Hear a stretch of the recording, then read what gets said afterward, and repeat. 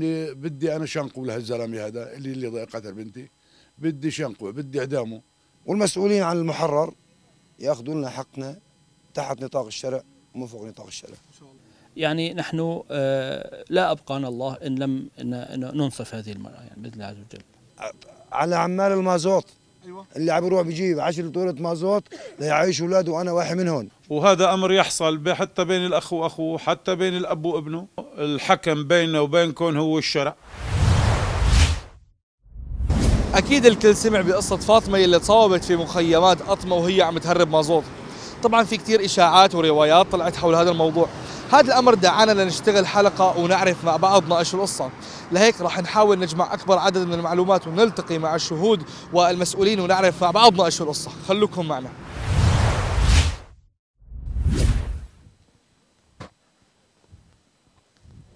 السلام عليكم متابعينا الأكارم. نحن الآن راح نلتقي مع أهل آه، الأخت المغدورة يعني ونتواصل معهم آه، السلام عليكم. وعليكم السلام ورحمة الله وبركاته. شلونك عمي إن شاء الله بك؟ أهلين وسهلين أهلين. الحمد لله رب العالمين.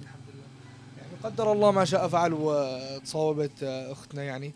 آه، لو تحكي لنا يعني التفاصيل كيف وصلكم الخبر أنتم أنه انضربت يعني؟ عمي نحن قاعدين بالبيت اجى علينا ولد ما بعرف مين اجى هاتف دق علي هاتف عثمان ابن عمي. قال آه، فاطمة قوست لك. اجت قوست قالت قوست أم. والله حملنا حالنا ورحنا لهونيك رحنا على المشفى لقيناها بالمشفى ما خلونا ندخل عليها. المكان اللي تصاوبت فيه وين؟ ما رحت عليه ولا بعرفه. بين الزيتون. لا بعرف ولا بيعرفني. بين الزيتون حرف الطريق. والله ما يعني بعرف. آه، بعد ما وصلكم الخبر شو سويتوا؟ وين رحتوا؟ والله ما سوينا. رحنا على المشفى. رحنا على المشفى كمان ع- اجى طلع واحد زلمة عمل معنا مقابله وكذا صرنا نحكي. وقلنا له يا أخي نحن ما بنريد يصير مشاكل ولا شيء خالص ابدا. جايبينها جاي لهون يلحقنا جبنا كاس دم معنا كمان ولحقنا لهون. اجينا لهون وفتنا وعملوا لها العملية والها من امبارح. لهلق في ال- في العناية المشددة. بدنا نحاول يعني آه، نكون يا أولاد عمي يا أهل ضيعتي يا أهل الجزيرة جميع بترجاكم كل الرجال. لا حدا يعمل شيء ولا حدا البنت بنتي.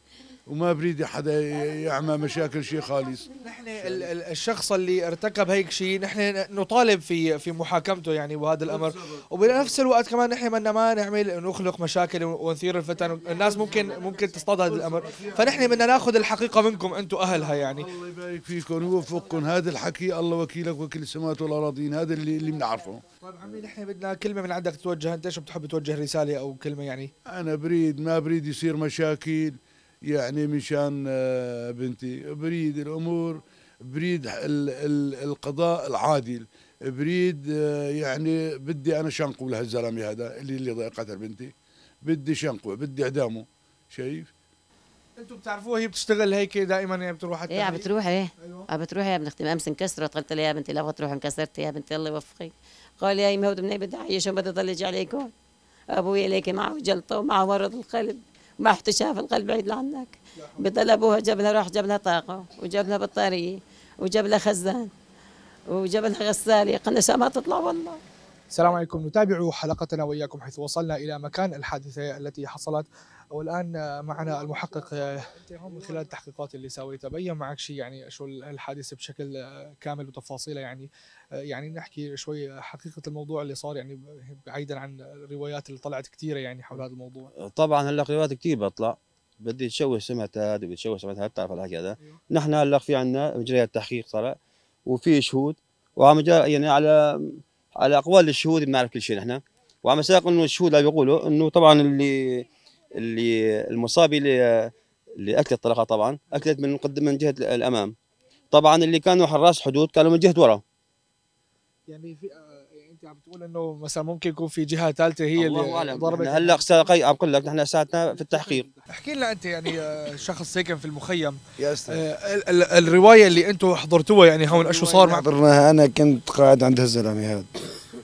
كنا قاعدين يعني نحن متعودين على إطلاق النار بشكل دائم يوميا ليلا نهارا. على المهربين. على عمال المازوت. أيوة. اللي عم بيروح بيجيب 10 طولة مازوت ليعيش أولاده وأنا واحد منهم أيوة. مرة بيصادروا لي إياها. مرة بيحرقوها مرة بيشقوها مرة بنفض فيها وعلى ال- المنوال ماشيين نحن. فسمعنا اطلاق نار متعودين عليه بشكل دائم قلنا أمر عادي.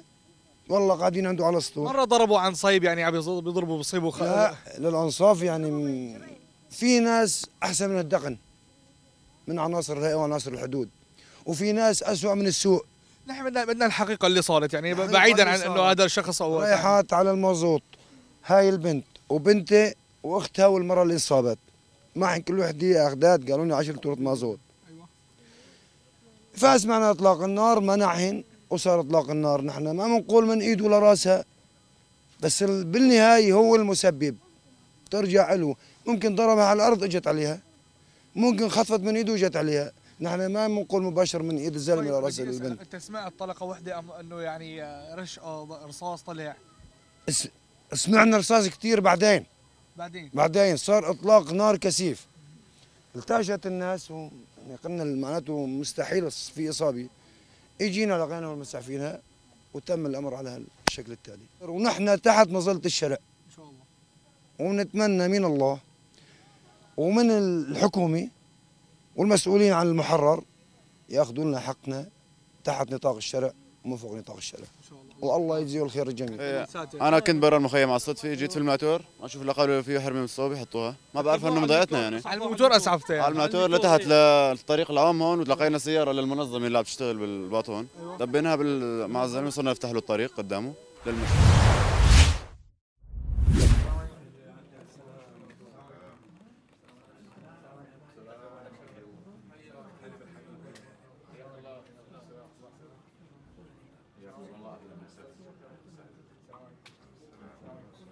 نتابع حلقتنا وإياكم حيث وصلنا إلى إدارة منطقة أطمة حيث نلتقي مع آه، مدير منطقة أطمة السيد آه، كفاح جعفر وأعضاء مجلس الشورى والصلح في منطقة أطمة المطلعين على قضية آه، الأخت يعني فاطمة في الحادثة التي وقعت في قبل أيام يعني.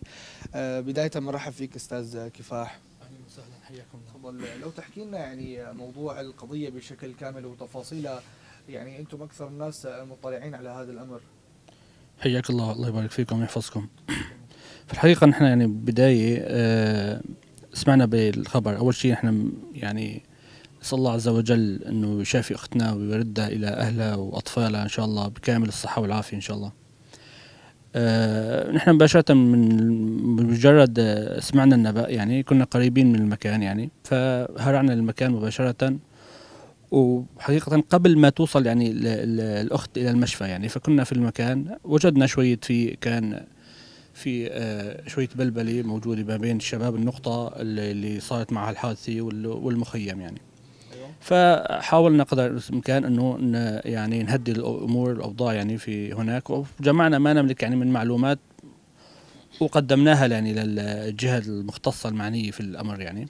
وقمنا مباشرة بتوقيف النقاط اللي هي كانت آه، على احتكاك مع المخيم مباشرة استبدالهم بجهاز الأمن العام يعني. آه، وللان يعني التحقيقات جارية. الأنباء يعني دائما للان تأتينا شهادات مختلفة متضاربة حول آه، يعني الحاد- الحادث يعني ودقائق الحادث يعني. فللآن يعني التحقيقات جارية. وما من الأفضل إنه إحنا ما يعني نت- نتكلم بما لدينا من معلومات لأنه يعني التحقيق لسه الآن. إيه، لأن لأن القضية يعني شغالة ولسه الآن ما ما انتهت. يعني الآن ما استقرت على رواية كاملة يعني ودقيقة. ف آه، يعني بالنسبة لنا كمنطقة مباشرة سارعنا يعني كالعادة بأنه وقفنا الشباب اللي هن كانوا سبب بالمشكلة. يعني خلينا نقول سبب يعني. و- ومباشرة يعني آه، متابعين آه، وضع الأخت كمان بالمشفى بنفس الوقت. يعني كان في أخوة يعني مختصين لجنة متابعة الأخت في المشفى بشكل دائم يعني. والأمور الآن لا زالت يعني ضمن القضاء يعني. وال- وكان في يعني الأهل أهل ال- وذوي ال- الأخت يعني جلسنا معهم أكثر من جلسة. و- والجماعة يعني بوجود الأخوة يعني آه، مجلس الصلح وأعضاء مجلس الشورى الحقيقة كان لهم جهد كبير يعني وهذا حقيقة يعني بفضل الله عز وجل يعني آه، هن دائما سباقين للخير يعني صارت يعني قضية مجتمع واستنفرت الناس كلها وطلعت يعني عدة روايات حول هذا الموضوع آه، هل يعني تبين معكم مين الشخص اللي أطلق وإيش الدوافع اللي يعني دفعته لي- ليضرب هيك المراه يعني في هذا المكان؟ آه، هو يا أخوي من- للآن الأنباء للآن متضارب يعني. للآن الرواية الدقيقة للآن ما, الأخوة في التحقيق و والشباب يعني في التحقيق موجودين وموقوفين. وللآن يعني التحقيقات جارية يعني في آه، المنطقة. ال- نحن شئنا أم أبينا في في في إدارتين متواجدتين في وزارتين مختلفتين يعني. في آه، يعني شرطة وأمن وكذا بين منطقتين مختلفتين. فبالتالي أنت لابد إنه يعني في تباين ما بين الضبط الأمني ما بين منطقة ومنطقة. هذا الأمر يعني في تباين كبير يعني يعني آه، ونحن نسأل الله عز وجل إنه تتوحد آه، المناطق المحررة كلها باداره واحدة. وهذا يعني حقيقة يعني ما ندعو به دائما يعني. لكن نحن شئنا بين أمام هذا الواقع. وهذا الواقع يتحتم علينا يعني ك ك كإدارة كإدارة منطقة إنه يكون في شيء في تهريب في عبوات عم تفوت في أشخاص مطلوبين يعني للقضاء عليهم حقوق شخصية كذا كمان عم آه، عم بيستغلوا هذا هذا الفوضى الموجودة ما بين المنطقتين. فمثلا في شخص مثلا مطلوب في إدلب آه، فبيلجا لمناطق تعفرين من أجل إنه يهرب يعني. وذلك العكس يعني. ففي تنسيق لكن التنسيق الآن لم يصل إلى مستوى كبير يعني من هذا. ففي يعني في تعرف موضوع الحبوب وموضوع آه، الممنوعات اللي عم تدخل يعني. فلا بد كان من إنه وضع نقاط على الحدود على الشريط الحدودي. وللآن يعني للآن التحقيقات جارية في في هذا. إن كان هناك أي تفريط من قبل أي شخص سواء كان من قبل آه، يعني الشباب العاملين على النقاط الحدوديه أو حراسه الحدود لن نتهاون يعني لن نتهاون يعني معه يعني ابدا. وهذا الأمر يعني مسلم بالنسبة لنا. هناك كثير من من من الأشخاص الذين تجاوزوا سواء كانوا في العمل الأمني أو كانوا في الع- في العمل العسكري أو حتى في أمراء في في في هذا هم في السجون وخضعوا لحكم يعني تمام الله يعطيك العافيه الآن الحادثة وقعت وصارت يعني هل القضية آه، راح تتابع وتستمر ومين راح يضل يتابعها ويلاحق في أمره؟ آه، القضية إلى أين؟ لو تجاوبنا على هذا السؤال أنت أو أحد المشايخ يعني. أخي القضية نحن يعني آه، ما في قضية بفضل الله عز وجل ماتت. أما القضية تحل قضاء أو تحل صلحا. ونحن لا لا نزاود على أولياء الدم. فأولياء الدم طالبوا بالعدل وبإذن الله عز وجل يعني نحن آه، لا أبقانا الله إن لم ننصف هذه المرأة يعني بإذن الله عز وجل. إذا نشكر السيد كفاح على الشرح والتوضيح الذي قام به وننتقل إلى إخواننا ومشايخنا في لجنة الصلح مع السيد جهاد قسوم. السلام عليكم. السلام ورحمة الله وبركاته. لو تحكي لنا يعني عن الحادثة وأنتم كلجنة صلح يعني عملكم ودوركم في هذا الموضوع.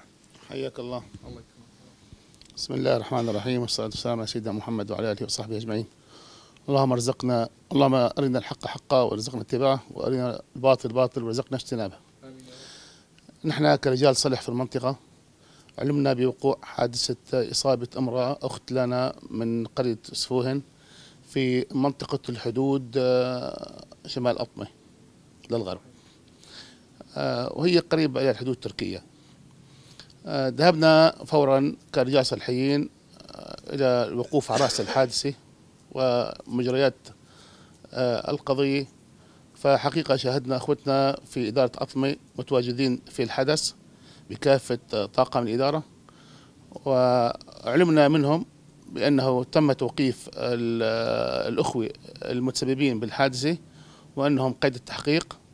وأخبرونا بأنهم متابعين هذه القضية آه، بجدية حتى نهايتها وسيطبق الحكم العادل في الأخ المتسبب بهذه القضية مهما كانت نتائج الحكم. آه، انتقلنا إلى الطرف الآخر. الطرف الآخر أخوي أهل أولياء الدم. الحقيقة كان اللقاء آه، طيب من أخوتنا أهل قرية سفوهن وأعلمونا بأنهم آه، مسلمين هذا الأمر إلى القضاء ولش ما يرتدي- يرت- يرتويه يرتاه الشرع يرتئيه الشرع في هذه القضية. ونحن بدورنا كرجال صلح راح نتابع هذه القضية إن شاء الله حتى نهايتها وأخوتنا في المنطقة وعدونا بأنهم سيطلعون على التحقيقات أول بأول ونشكر أخوتنا في إدارة المنطقة ونشكر أخوتنا أهل أولياء الدم ونطلب نسأل الله سبحانه وتعالى الشفاء لأختنا واردها لبيتها سالم غانمي مشافاة إن شاء الله. الله يعافيك وجزاكم الخير. بارك الله فيكم.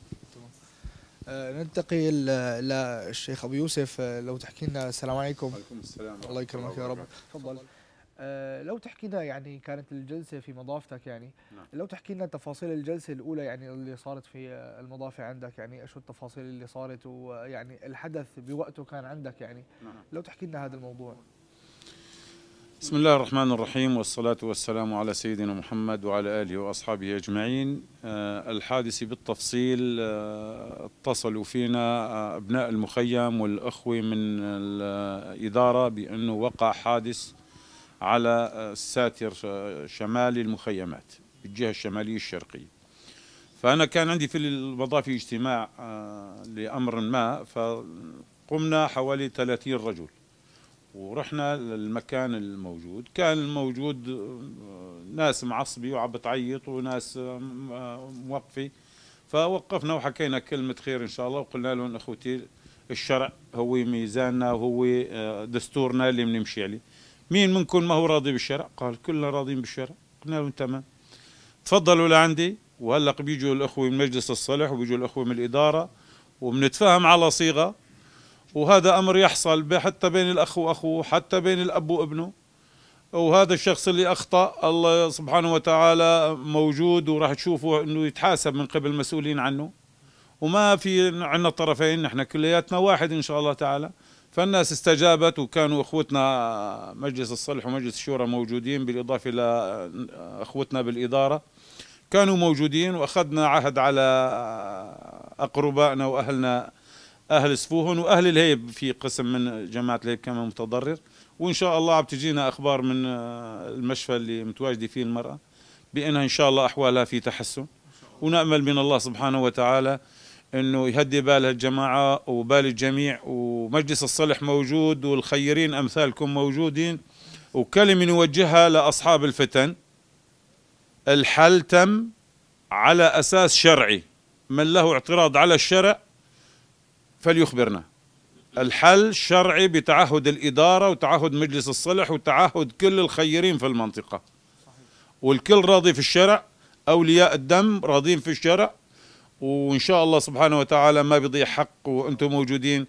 والسلام عليكم ورحمة الله وبركاته. الآن وصلنا لنهاية حلقتنا. شفتوا معنا كلام الشهود اللي كانوا موجودين مع فاطمة وسمعتوا كلام أهلها. والحمد لله يعني وصلنا في الوقت المناسب وكان متواجد المحقق اللي عم يحقق في هي القضية وسمعتوا كلامه. إن شاء الله تكون الحلقة وصلت لمبتغاها وعرفنا من خلالها إيش القصة. نلقاكم قريبا في حلقة جديدة من برنامجكم إيش القصة يا خاي؟ انتظرونا.